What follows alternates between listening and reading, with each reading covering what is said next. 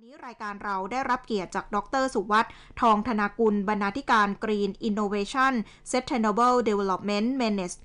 Manager ออนไลน์นะคะ แล้วก็กรรมการสถาบันป่วยอึ้งภากรมาร่วมพูดคุยเจาะลึกในประเด็นนี้กันค่ะ สวัสดีค่ะ ดรสุวัสด์ค่ะ สวัสดีครับ ค่ะสวัสดี ค่ะถามแบบนี้ค่ะการทำธุรกิจแบบ ESG ได้ยินมาสักพักแล้วนะคะ ความหมายเนี่ย ที่น่าจะทำให้เราได้เห็นภาพชัดที่สุดคืออะไร แล้วก็จุดเปลี่ยนสำคัญของการทำธุรกิจแบบปกติ อยู่ตรงไหนบ้างคะครับคือธุรกิจในยุคอดีตเนี่ย ก็ถือว่าผู้ดำเนินผู้ดำเนินการผู้บริหารเนี่ยก็ทำทุกอย่างเพื่อ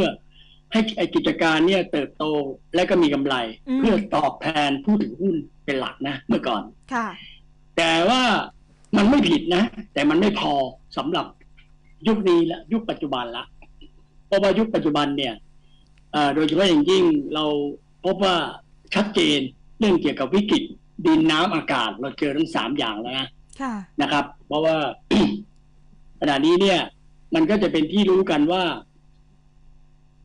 การเปลี่ยนแปลงภูมิอากาศ หรือว่าเรียกว่า climate change ซึ่งบัดนี้มันวิกฤตถึงขั้นเรียกว่าเราเขาเรียกกันว่า climate crisis มันเป็นวิกฤตละแล้วก็สาเหตุของการเปลี่ยนแปลงภูมิอากาศโลกรวนเนี่ย มันเกิดขึ้นจาก มีสภาวะของก๊าซเรือนกระจกคือเอ่ออุณหภูมิของโลกเนี่ย มันร้อนมันร้อนขึ้น แล้วก็คนปล่อยก๊าซเรือนกระจกป ล่อยก๊าซคาร์บอนไดออกไซด์นี่ขึ้นไปห่อหุ้มโลก เสมือนหนึ่ง เอาโลกเนี่ยไปอยู่ในห้องกระจกอืมเพราะฉะนั้นแสงอาทิตย์เข้ามาแล้วออกไปไม่ได้ เราลงไปอยู่ในห้องห้องกระจกแล้วเราเป็นอย่างนี้ยเราจะรู้สึกไงมันร้อนอึดอัดเนี่ยแล้วทีนี้สาเหตุก็เพราะว่าเราปล่อยก๊าซออกไปเยอะ เพราะฉะนั้นเนี่ย การที่การดำเนินธุรกิจในการแสวงหากำไรเต็มที่เพื่อจะกอบโกยหรือเพื่อจะผูกขาดเพื่ออะไรเนี่ยในยุคเนี้มันชัดเจนแล้วมันไม่ได้ละ เพราะว่าสังคมมันเดือดร้อนแล้วก็แล้วเดือดร้อนถึงตัวเองด้วย กิจการก็อยู่ไม่ได้ เพราะว่าน้ำท่วมมันท่วมหมดค่ะมันเกิดวิกฤตเกิดแล้วยิ่งมีโควิด ซ้ำเติมชัดเจน มันก็ยิ่งรับรู้แล้วว่าตอนเนี้ยมันกอบโกยไม่ได้ต้องเกื้อกูลด้วยเพราะฉะนั้นก็เลยมีแนวคิดว่าธุรกิจจะเติบโตเศรษฐกิจจะเติบโตไปได้เนี่ย มันต้องคำนึงถึงความสมดุลของสังคมต้องดีด้วย แล้วก็สิ่งแวดล้อมและทรัพยากรธรรมชาติก็ไม่ถูกทำลายด้วย มันเลยมีหลักการที่เรียกว่า ESG ที่เวลานี้เนี่ยกรตและตลาดหลักทรัพย์ก็พยายามผลักดันสนับสนุนให้บริษัทจดทะเบียนในตลาดหลักทรัพย์ซึ่งถือเป็นบริษัทชั้นนำที่ถูกคัดคัดกรองเข้ามาแล้วใช่ไหมเจ็ดร้อยกว่าบริษัทตอนนี้ ว่าจะต้องทำรายงานเรื่องเกี่ยวกับความยั่งยืนนะคำว่ายั่งยืนจริง ๆ แล้วเนี่ย ยั่งยืนไม่ได้เพียงแต่ว่าอยู่นานแล้วถือว่ายั่งยืนนะครับ ยั่งยืนหมายถึงการพัฒนา อย่างยั่งยืนคือการพัฒนาที่มีความสมดุล ที่กิจการก็ทำดีด้วยเก่งด้วย แล้วดีด้วย คือไม่ทำร้ายสิ่งแวดล้อม ไม่ทำร้ายสังคมนะมันก็จะไปเลยเพราะฉะนั้น E เนี่ยก็คือ environmental ก็คือเป็นมิตรกับสิ่งแวดล้อมค่ะและไม่ทำลายทรัพยากรธรรมชาติ S ก็คือ social ก็คือสังคม แต่พูดได้ชัดกว่านั้น S เนี่ยมันควรจะใช้คำว่า stakeholder ปัจจุบันเขาเรียกว่า stakeholder ก็คือผู้มีส่วนได้ส่วนเสีย ก็คือคนนั่นแหละ แต่ว่ามันหมายถึงมองให้ละเอียดลงไปเลยว่า คนภายในองค์กรและคนภายนอกองค์กร คือตั้งแต่ผู้ถือหุ้น พนักงาน ลูกค้าซัพพลายเออร์ ชุมชนอืมเนี่ยเราแล้วก็สังคมวงกว้าง เราเราคำนึงถึงนี้หมด แล้วตัวนี่คือตัว S แล้วตัว G ก็คือธรรมาภิบาล คือมีความซื่อสัตย์สุจริตทำสิ่งที่ถูกต้อง ทำด้วยความเป็นธรรม มีความโปร่งใส แล้วก็ตรวจสอบได้เนี่ยเพราะทุกอย่างก็ต้องมีการตรวจสอบมีการประเมินมีการวัด เพราะฉะนั้นเวลานี้เนี่ย กระแสโลกก็คือว่าเขาจะเลือกจะคบจะค้าจะสนับสนุนจะลงทุนกับกิจการที่มี ESG ค่ะเพราะว่าอย่างบริษัทในตลาดหลักทรัพย์เนี่ยเวลานี้เนี่ยนักลงทุนมืออาชีพ นักลงทุนสถาบันเนี่ย เขาไม่ต้องถามแล้วว่าไอ้ยคุณยอดขายเท่าไหร่กำไรเท่าไหร่ไม่ต้อง เพราะว่าตลาดบริษัทต้องเปิดเผยอยู่แล้ว แต่สิ่งที่เขาสนใจก็ซึ่งมันไม่ปรากฏในงบการเงิน ก็คือหนึ่งคุณทำร้ายสิ่งแวดล้อมไหมค่ะคุณทำร้ายสังคมไหมอ่าคุณทุจริตไหมไม่มีในงบการเงินไม่มี เนี่ยมันเลยต้องดูจากข่าวสารดูจากการเปิดเผยรายงานของคุณ เนี่ยนะเป็นอย่างนี้นะครับ ค่ะทีนี้เราดูจากแนวโน้มความนิยม ความเคลื่อนไหวในภาคธุรกิจกลุ่มนักลงทุน ถ้าเราเทียบกับทั่วโลกกับในไทยเราทันชาวบ้านเขาไหมคะ เรื่องนี้ เออก็คือเนื่องจากว่าไทยเราเนี่ย เราเป็นประเทศที่เปิด เปิด เปิดเสรีติดต่อกับต่างประเทศ ทันไม่ทันเราก็ต้องทันค่ะเช่นยกตัวอย่าง เวลาเนี้ยสหประชาชาติเนี่ยร้อยเก้าสิบสามประเทศสมาชิก ผู้นำรวมทั้งประเทศไทยด้วย ก็ไปลงนามนายกไทยเนี่ย นายกเมื่อปีสองพันสิบห้าค่ะไปลงนามว่าเอาด้วยเอาด้วย ว่าการศึกษาว่าโลกเราเนี้ยมีปัญหาใหญ่อยู่สิบเจ็ดเรื่องด้วยกัน ที่เป็นสีสีต่างๆ เนี่ยวงกลมเนี่ยนะครับสิบเจ็ดเรื่อง ถ้าเอ่ยขึ้นมาแล้วอ๋อหมดแล้วนะเช่นปัญหาความยากจนความหิวโหยการเหลื่อมล้ำเอ่อน้ำสะอาด การศึกษาที่ไม่มีที่ต้องมีคุณภาพ และก็ที่สำคัญที่สุดก็คือ สภาวะวิกฤตของดินน้ำอากาศ เนี่ยไอ้ตรงนี้แหละก็คือเกิดจากการเปลี่ยนแปลงของภูมิอากาศเนี่ยแหละก็สำคัญที่สุดแล้วก็เขาก็เลยต้องกำหนดว่าเป้าหมายเนี่ย ตอนนี้เนี่ย กติกาโลกมันมาแล้วว่า ถ้าอยู่เฉยๆไม่บังคับเนี่ย มันไม่ได้ไปไม่รอด เวลานี้เป้าหมายจะต้องร้อย เก้าสิบสามประเทศตกลงกันว่าเราจะร่วมกันมีกฎกติกาและร่วมกันทำให้มันสำเร็จภายในปี 2030 ค่ะ แต่ขณะนี้เนี่ยเอา2030 ลบ2เอ่อ2022 เนี่ยค่ะมันมันเดิมที 15 ปีใช่ไหมอ่าตอนที่เราเซ็นเซ็นลงนามกันเนี่ย ตอนนี้มันเหลือประมาณเท่าไหร่ เหลือประมาณไม่ถึง 8 ปีละ เนี่ย แล้วมันปั๊บปั๊บมันก็ไม่ทัน แล้วก็พบว่าที่มีปัญหา ทั้งหลายแหละน้ำท่วมแผ่นดินไหวเอ่อน้ำแข็งขั้วโลกละลายเนี่ย มันมาจากอุณหภูมิของโลกเพิ่มสูงขึ้นเนื่องจากคนปล่อยแก๊สคาร์บอนไดออกไซด์เพราะฉะนั้นต้องมีกติกาบังคับกค่ะติกามีคอมมิชเมนต์เดี๋ยวนี้ทุกประเทศก็กำหนดเลยบอกว่า จะต้องปล่อยก๊าซคาร์บอนไดออกไซด์เป็นศูนย์สุทธิเป็นศูนย์เลยนะครับ ทุกประเทศ แล้วก็บอกว่าเอานี้เริ่มระหว่างขั้นกลาง ขั้นกลางนะก็คือว่าก็เรียกว่าคาร์บอนนิวทร a ตี้ก็คือว่า การปล่อยก๊าซเรือนกระจกที่เป็นกลาง คือหมายว่า ปล่อยลดลงเต็มที่แล้วเนี่ยเขายอมให้คุณเอาเอาเครดิตมาหักออกเครดิตอย่างเช่น ปลูกต้นไม้เพื่อจะปลูกป่าเพื่อจะดูดซับคาร์บอนไดออกไซด์เอาตรงนั้นเนี่ย เป็นเครดิตเอามาหักออกได้ค่ะก็คือประเทศไทยเราก็ตั้งไว้ว่าปี 2050 หรือ 2593 อีก 28 ปีข้างหน้า นี่คือนี่คือเอ่อเอ่อเอ่อขั้นกลาง แต่ขั้นสุดท้ายเลยเนี่ย คือ net zero เนี่ยคือว่าปล่อยสุดที่เป็นศูนย์เลย ปล่อยอืมก๊าซเรือนกระจกสุดที่เป็นศูนย์เลย ก็คือปี 2065 หรือ 2,608 หรือ 43 ปีข้างหน้า คือที่เราดูเหมือนว่ายาวนี่นะครับ แต่ว่าเรื่องแบบนี้มันต้องค่อย ๆทำใช่ไหม ค่ตอนนี้ก็เริ่มกติกาบังคับว่ายุโรปเมื่อกี้ที่ถามบอกว่าเราเราเราทันชาวบ้านก็ไหมทันไม่ทันก็ต้องทัน เช่นอตอนนี้เนี่ย ยุโรปก็ออกกฎหมายเกี่ยวกับเรื่องเรื่องอคาร์บอนแท็กมันจะมี แล้วก็เรื่องเกี่ยวกับกฎเกณฑ์ที่จะสินค้าที่จะส่งออก ต่อไปเนี่ยจะต้อง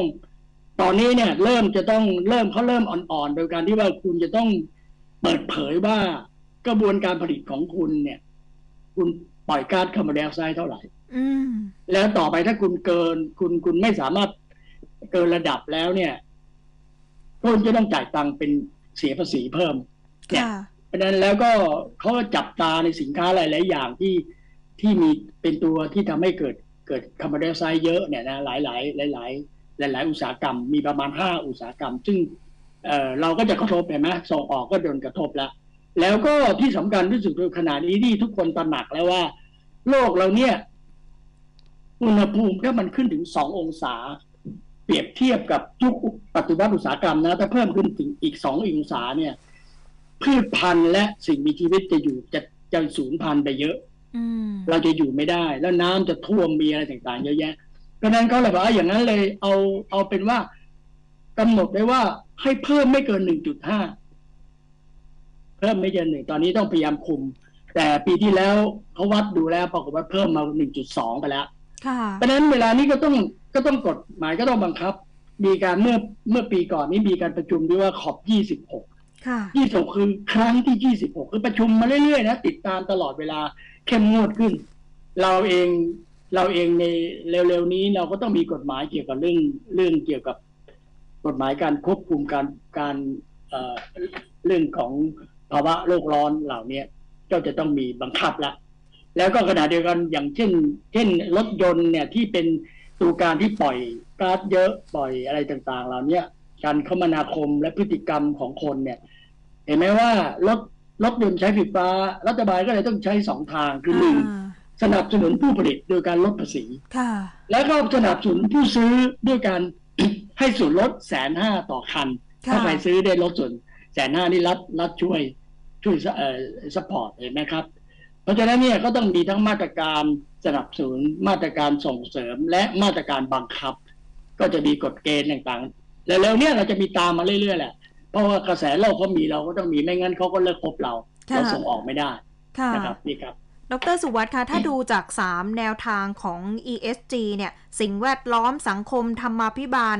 อันไหนที่น่าจะเป็นโจทย์ยากที่สุดของธุรกิจไทย แล้วก็ถ้าเกิดว่า คุณผู้ฟังที่เป็นเจ้าของธุรกิจเนี่ยเขาอยากจะเริ่มทำเรื่องนี้เริ่มยังไงดีคะ ครับ โอเคครับ มีคนมักจะนึกว่า ESG เนี่ย ตลาดหลักทรัพย์เขาเขาเป็นคนรณรงค์แล้วก็ตั้งกฎกติกา ตอนนี้เป็นไฟล์บังคับแล้วเนี่ย ค่ะ ก็นึกว่าต้องบริษัทบริษัทยักษ์ใหญ่ แต่จริง ๆ แล้วบริษัทเล็ก ๆ ใหญ่ ๆ ก็สามารถทำได้ทั้งนั้นนะครับ อยู่ที่จิตสำนึกของคุณว่า คุณคุณเอ่อรับรับผิดชอบต่อสังคมและสิ่งแวดล้อมไหม แล้วเมื่อกี้ถามว่า ESG เนี่ยอันไหนสำคัญที่สุดคือตัว G เนี่ยสำคัญที่สุดค่ะเพราะ G มันคือจิตสำนึกมันคือความซื่อสัตย์สุจริตอ่ารับผิดชอบ รับผิดชอบต่อใครต่อผู้มีส่วนได้ส่วนเสีย ต่อลูกค้าต่อพนักงานในบริษัทต่ออะไร แล้วก็สร้างจิตสำนึกในเรื่อง เรื่องเกี่ยวกับเรื่องเรื่องเออไม่ทำร้ายคนเอ่อสังคมและสิ่งแวดล้อมไงเพราะฉะนั้นเนี่ยถามว่า ผมผมบอกว่า ถ้าเปิดบริษัทยักษ์ใหญ่เท่านั้นที่จะทำได้เนี่ย จริง ๆแล้วเนี่ย ผมบอกว่าแม่ค้าขายส้มตำก็ทำได้นะครับ ค่ะเราเคยเห็นไหมว่าเวลาไปสั่งส้มตำบางทีบอกไม่ใส่ถั่วอ่า เคยได้ยินไหมค่ะไม่ใส่ถั่ว เพราะอะไรเพราะบอกกลัวกลัวเชื้อรา แต่ถ้าแม่ค้าเนี่ยเอาขวดโหล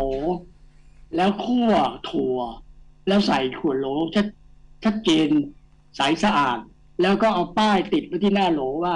ถั่วที่นี่คั่วทุกวันนะคะค่ะแล้วก็เอาช้อนตักถั่วในโหล ใส่ใส่ใส่ครกแล้วก็ตำคนเห็นนี่ครับ อย่างนี้เอาไหมอื มันใส่ถั่วมันอร่อยกว่าแน่นอน นี่ก็คือรับผิดชอบของแม่ค้าสายส้มตำเราไม่ทิ้งขยะลงลงในในลำในในท่อ ในแม่น้ำในอะไรเนี่ย ทุกคนสามารถทำได้หมดนะครับ แล้วก็แล้วก็ตอนนี้มันก็เริ่มเริ่มกติกาเรื่องเกี่ยวกับเรื่องการจัดการขยะการจัดการถุงพลาสติกมันเริ่มมีกฎกติกาแล้วถุงพลาสติกที่ใช้ครั้งเดียวทิ้งเนี่ย ตอนนี้ตามตาม ตามห้างตามอะไรก็เริ่มบอกว่าถ้าในซุปเปอร์มาร์เก็ตเห็นไหมฮะอืมถ้าจะใส่ถุงต้องจ่ายตังค์นะเจ็ดบาทก็มีค่ะเออต้องต้องต้องอย่างนั้นเนี่ยเนี่ยเขาต้องต้องบังคับ เพราะฉะนั้นเขาจะได้ถ้าเขาจ่ายตังค์เขาจะได้เก็บไว้ใช้คราวหน้าใหม่ เนี่ย อย่างน้อยมันก็ยังบรรเทาไป คือ ESG เนี่ยมันเป็น มันจริง ๆ มันเป็นคำที่ใช้กันอยู่ในวงการตลาดตลาดทุนนะตลาดหุ้นนะครับ ที่เขาจะต้องการสื่อสารกับนักลงทุน ว่ากิจเป็นกิจการที่ดี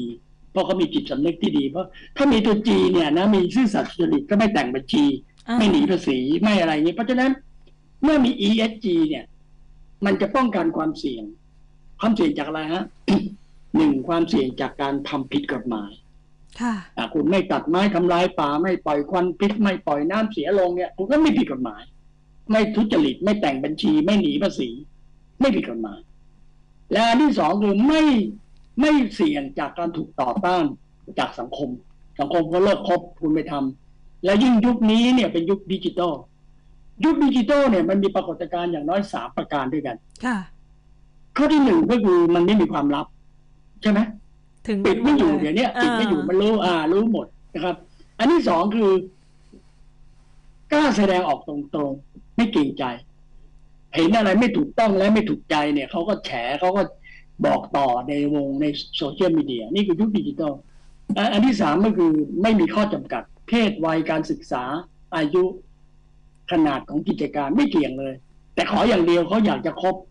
อยากจะค้า อยากจะสนับสนุนกิจการที่ดี มีการมีผลวิจัยเยอะนะ คนรุ่นใหม่เขาพร้อมจะสนับสนุนกิจการที่ที่ที่มีความเอ่อซื่อตรงมีและไม่ทำร้ายสิ่งแวดล้อมเนี่ยเขาก็เริ่มมีความคิดแบบนี้ค่ะแล้วเขาทำกิจการเองเขาก็จะไม่เป็นอย่างนั้น แต่นี่เป็นกระแสที่ตอบว่ามันมันมีนะครับค่ะแล้วก็โดยเฉพาะยิ่งเมื่อวานนี้มีมีการแถลงเจตนารมณ์ของสมาคมธนาคารไทยแล้วค่ะคุยเรื่องนี้กันดีไหมค่ะกำลังจะถามค่ะคือ พอเห็นในมิติของการเงินเนี่ยกรีนแบงก์สินเชื่อสีเขียว โอ้โห ประเมินหน่อยค่ะ รูปแบบที่จะเข้ามามีบทบาทในภาคของการเงิน แล้วก็ส่วนที่มันน่าจะช่วยขับเคลื่อนแนวทางของธุรกิจกับ ESG ในประเทศไทยค่ะ ดรสุวัสดิ์คะครับดีมากเลย คือธนาคารเนี่ย ธุรกิจธุรการธุธุรกรรมทางการเงินเนี่ย จริง ๆ โดยหลัก ๆ พื้นฐานสมัยก่อนเลย แต่เดี๋ยวนี้อาจจะเปลี่ยนเป็นบริการทางการเงินบ้าง สมัยก่อนคือ รับเงินฝากแล้วปล่อยเงินกู้อ่าถูกไหมธนาคารก็เป็นตัวกลางระหว่างคนมีเงินเหลือคนขาดเงินนะมีเงินเหลือไปฝากเงิน ไปฝากแบงก์มีขาดเงินก็ไปกู้แบงก์เนี่ย เท่านั้นเอง เพราะฉะนั้น ธนาคารเนี่ยจึงเป็นกลไกสำคัญมากเลย ว่า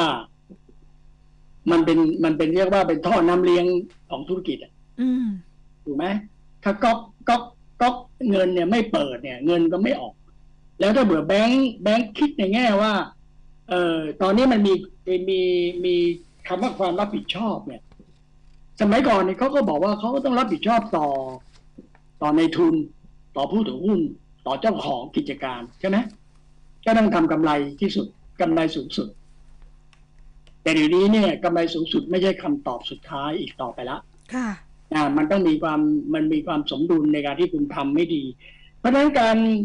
การประกาศเจตนารมณ์ครั้งนี้ผมคิดว่าเป็นเป็นปรากฏการณ์ที่ที่สำคัญมากเลยนะ ที่เป็นประกาศที่แสดงให้เห็นถึงว่า สมาคมธนาคารไทยที่ประกอบด้วยธนาคารทุกแห่งค่ะ ที่ดำเนินการอยู่ในประเทศไทยเป็นสมาชิกนั้นเนี่ย ประกาศเจตนารมณ์ด้าน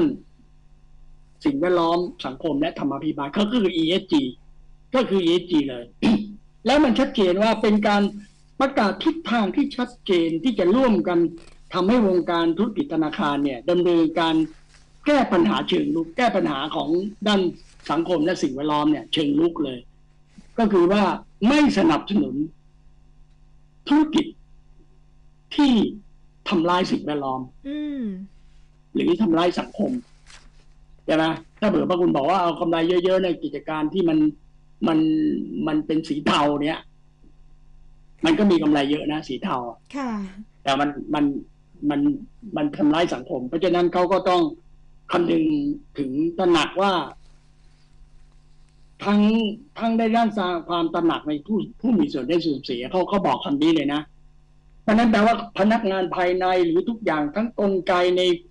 ในกลไกต่างๆ ของวงการแบงค์ที่เกี่ยวข้องเนี่ย เขาจะต้องให้เกิดความตระหนักรู้ในเรื่องนี้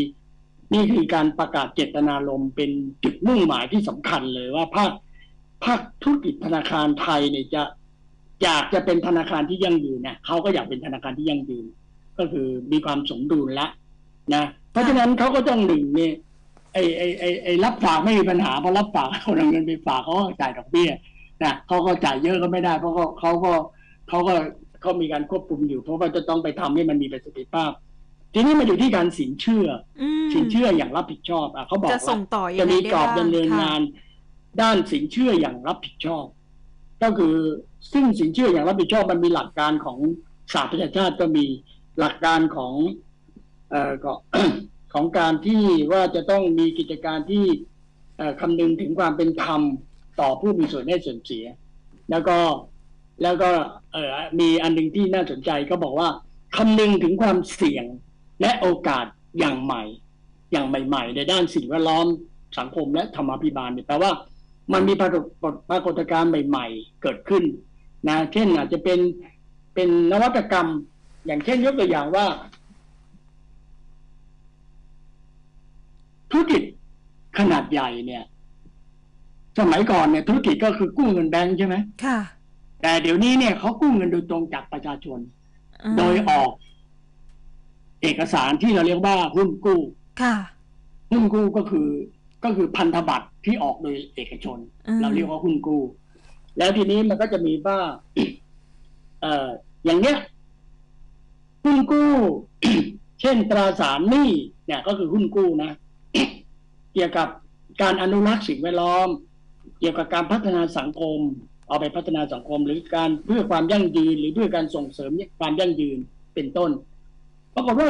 ขายดีนะ ในภาคอย่างอนี้สังหาเห็นมีตัวอย่างอยู่ค่ะเออเอาเข้าไปทำอะไร คือคือจะต้องอธิบายไงอย่างสมมติว่าเขาไปทำรถไฟฟ้าเนี่ยเขาก็จะบอกว่ารถไฟฟ้านี่เขาขายว่าออกหุ้นกู้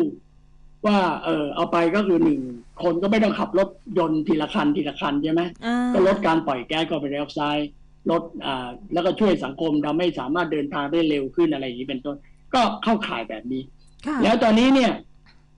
ก.ล.ต.เองก็ยังยกเว้นค่าธรรมเนียมการขออนุญาตในการที่หุ้นกู้ยั่งยืน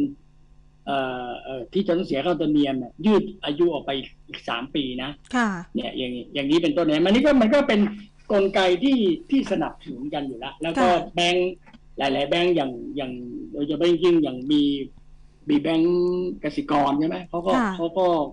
เขาก็ออกด้านนี้เยอะเหมือนกันออกมาอืมแล้วก็เอ่อมีกสิกรมีทกสมีอะไรพวกนี้ก็ก็พยายามออกออกมาเพื่อหมายก็มีวัตถุประสงค์เพื่อไปส่งเสริมสังคมและสิ่งแวดล้อม ค่ะ เนี่ยอย่างนี้เป็นต้น ซึ่งก็ดีละ มันบอกวัตถุประสงค์ไง ค่ะ ปิดท้ายค่ะ ดรสุวัสดิ์คะ เราอยากเห็นอะไรจากภาครัฐ จากเอกชน นอกจากการออกมาประกาศเจตนารมณ์เรื่องนี้ เพราะว่าเอาเข้าจริง ๆ ก็เห็นเยอะเลยค่ะ แต่ว่าทำได้เปล่าเนี่ยมันอีกเรื่องหนึ่งเดี๋ยวไม่เท่ เออ ดีนะดีนะคำนี้ดี ผมผมไปอ่านรายละเอียดของเขาละที่เขาค่ะแถลงในในแถลงเนี่ยเขาบอกว่าไอ้นี่น่าสนใจตรงที่ว่าเขาจะต้องมีการมี มีระบบระบบการกำกับมีหนึ่งมีระบบการกำกับดูแลเนี่ยอันที่สองเนี่ยมีมีวิธีการที่จะทำมีอยู่ในยุทธศาสตร์ เข้าไปอยู่ในยุทธศาสตร์ของธุรกิจเลยนะเพื่อจะสนับสนุนในเรื่องเนี้ย เรื่องสนับสนุนให้มีการปล่อยก๊าซเป็นศูนย์ net zero อะไรต่ออะไรอย่างนี้แล้วก็ค่ะแล้วก็ให้ให้มีการกำกับดูแลในระดับระดับกรรมการเลยนะ คือกรรมการจะต้องมาเกี่ยวข้องเรื่องนี้เพราะกรรมการมีหน้าที่กำหนดทิศทางของธนาคาร แล้วก็แล้วก็ประเมินผลผู้บริหารใช่ไหมเอ่อกรรมกรรมการจะมีหน้าที่อย่างนั้น เพราะฉะนั้นเนี่ยก็ดูแล้วเนี่ย มันก็จะตอบโจทย์เหมือนที่ทางคุณห่วงว่า เอ้ยเอาเอาเท่หรือเปล่าพูดในแง่ภาษาดอกไม้ไหม ซึ่งผมคิดว่าเวลาเนี่ยโลกโลกจับตาค่ะสังคมจับตาว่ามันมันมันต้องโปร่งใสและคุณต้องทำ แล้วจริง ๆ เหนือสิ่งอื่นใดเนี่ยมันมันเดือดร้อนไปหมดนะค่ะและโดยเฉพาะยิ่งยิ่ง ที่เมื่อกี้ที่ผมว่ามีความเสี่ยงเนี่ย มันเป็นทั้งความเสี่ยงและเป็นทั้งโอกาสนะครับค่ะไอ้ ESG เนี่ยไม่เป็นความเสี่ยงก็ได้ก็คือว่าหนึ่งถ้าคุณไม่ทำสังคมเขาเลิกคบคุณอืมอ่า มันก็จากข้างนอกเข้ามากระทบ หรือถ้าคุณนอกจากคุณไม่ไม่ทำอย่างนั้นแล้วเนี่ย คุณก็ไปทำร้ายสังคม อ่า มันก็คุณไปสร้างความเสี่ยง อย่างเงี้ยเพราะฉะนั้น เพราะฉะนั้นความความเสี่ยงถ้าคุณทำแล้วมันไม่เสี่ยง แล้วมันกลับกลายเป็นมีความพร้อมมีความสามารถในการแข่งขัน ที่คู่แข่งเขาไม่มีเขาไม่มีความพร้อมและคุณสามารถสื่อสาร มีการทำรายงานเปิดเผยสิ่งที่คุณทำแผนคุณทำและผลเป็นยังไง ก็ทำให้เกิดความน่าเชื่อถือค่ะเกิดการยอมรับ อันนี้ก็เป็นโอกาสทำให้คุณคุณมีมีจุดแข็ง มีจุดขายที่ดีครับค่ะ ได้ค่ะ วันนี้ขอบพระคุณค่ะ ดรสุวัสดิ์ค่ะ ครับ สวัสดีครับ ค่ะ